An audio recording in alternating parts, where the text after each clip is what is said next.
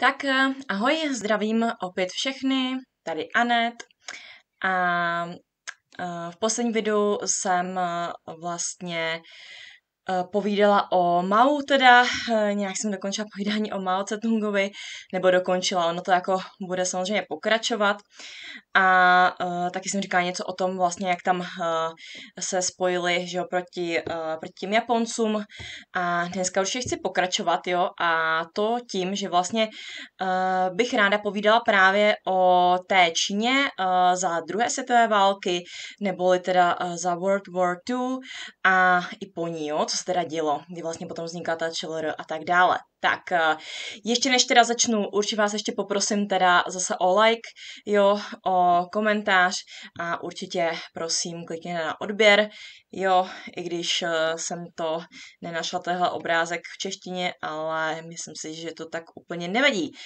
Tak, eh, takže Čína, jo, vlastně je tam součást eh, protifašistické koalice, eh, kdy poprvé vlastně ta Čína eh, je takzvaně vlastně součástí světa. Jo, tady můžete vidět i obrázek, kde tady máte vlastně toho Čankajška, jo, a Winstona Churchilla a ten třetí pán, to úplně nevím, kdo je, zkusím, zkusím se to dohledat. Tak eh, a vlastně tady ještě ta další uh, obrázek, eh, kde tam máte vlastně, jo, ta Čínská republika, nebo tady to je teďko vlajka Tajvanu, že jo, víte, tady ten Kuomintang a USA, jo, takže takhle.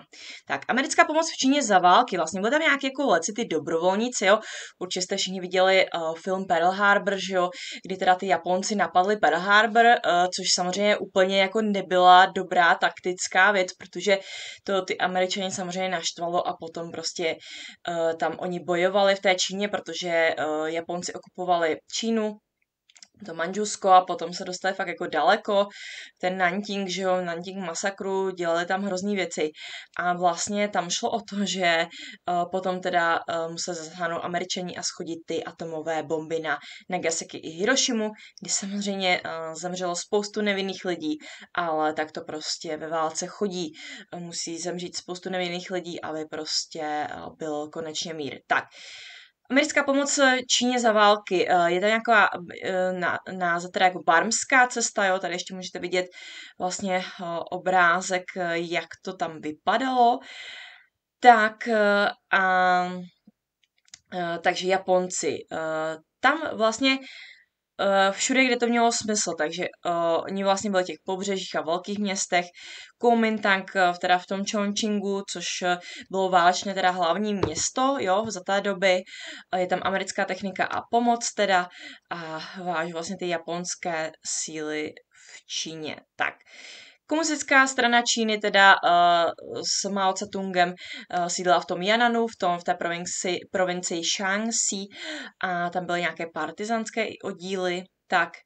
A vlastně uh, tam šlo o to, tady už mám jako vlastně uh, porážka Kuomintangu, uh, tady bych to jakoby uh, dala nějak asi tak jako, aby, aby to dávalo smysl, protože tam je důležité to, že teda samozřejmě uh, ten Čankajšek nacionalista versus Mao, uh, komunista spojili právě ty síly, odhodili ega, aby porazili spolu teda s USA, vlastně Japonsko, aby, aby, aby prostě ukončili tu druhou světovou válku, že jo? protože víme, že ta druhá světová válka samozřejmě skončila až prostě tou porážkou toho Japonska, že prostě když už tady vlastně uh, v roce 45 prostě už to Německo bylo poražené, tak ty Japonci ale prostě se nevzdávali pořád, to byl vlastně poslední, kteří jako pořád tam jakoby bojovali jo, za ty druhé světové války.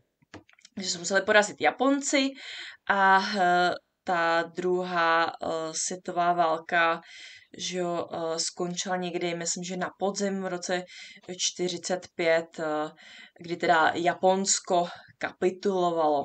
Tak, a potom samozřejmě tam uh, vlastně po té druhé světové válce, tady to uspořádání. Tak, tady můžete vidět takovou jako raritní uh, fotografii uh, mladého Mao Tse-tunga a Čankajška, uh, kde je můžete vidět spolu a vlastně uh, tam jde o to, uh, jakoby tady je, že rozhodne jako Manžusko, kde byly japonské zbraně průmysl.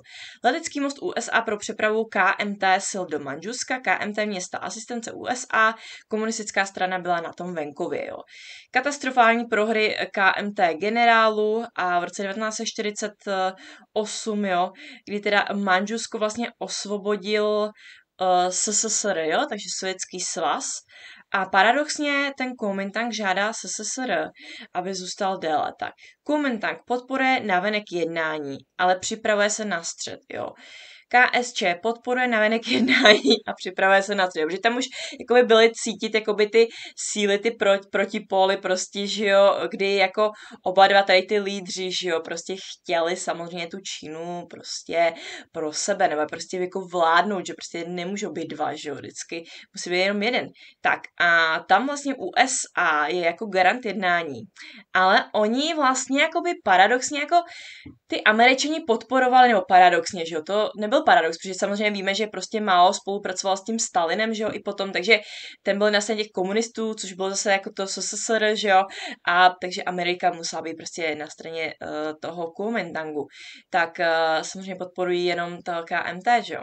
Tak, a tady jsou nějaké jako podpory, uh, teda pardon, eh, příčiny porážky KMT. Takže KMT je celkově neschopný oproti právě komunistické straně Číny a je tam ekonomický rozvrat KMT území. Nedůvěra vůči bývalým japonským územím, hledání kolaborantů, vláda tajné policie, spekulanti eh, vydělávají na nadhodnoceném kurzu KMT měny proti japonské okupační měně a KMT eh, vlastně sobě.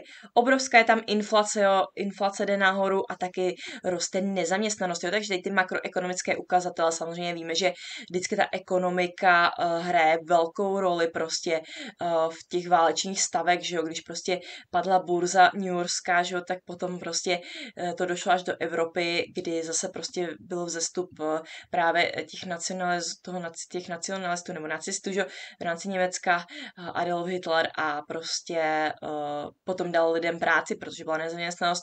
A potom vždycky jakoby tady ty války prostě jsou způsobeny tady těmi ekonomickými ekonomickými samozřejmě eh, problémy. Tak eh, KMT eh, bojuje proti občanům, boj proti spiknutí komunistů. Armáda se chová bezohledně k obyvatelstvu, použití Japonců proti komunistům. Zvyšují daně, že jo, samozřejmě víme, že tady ty, je to spíš jakoby vysoké daně, um, spíš řekla taková ta uh, razantní pravice, jo, bych, bych tak řekla. A vlastně uh, bezohledný státní aparát, jo, právě ti neplatili daně a mě, tam nějaká měnová reforma, něco podobného jako reforma v ČSR, proti všem právě, jo, v Československé republice tedy. A během půl roku vlastně, jo, to je právě to, že tam jako narostly ty ceny, ta inflace je jako šílená prostě, jo, tam 85 tisíc krát, jo, narostla prostě jakoby ta cena, jo, což samozřejmě jako bylo neúnosný, že prostě běžný člověk si nemohl dovolit prostě najednou koupit jako blbý chleba, jako když to tak jako mám říct, jo, takže takhle žádná mírumilovná demokratická vláda to nebyla prostě, jo. Inflace v roce 1948 až 1949. Tady můžete vidět vlastně, jak vypadala uh, ta čankajšková měna toho KMT, jo, ten Kuomintang, jak který uh, vypadal, jo, tady můžete vidět obrázky. Uh, takže takhle, jo. Tak, uh, pro tady to video uh, si myslím, že uh, to stačilo, jo. Já vám moc krát děkuju zase jako za pozornost určitě, uh, za lajky, komentáře a tak dále a určitě si vás něco zajímá ohledně tady toho tématu, nestyďte se prostě napsat, jo, a v příštím videu budu pokračovat a to občanskou válkou vlastně mezi KMT a KSČ, takže co se dělo teda po té druhé světové válce. Tak uh, do té doby mějte se krásně a zatím čau.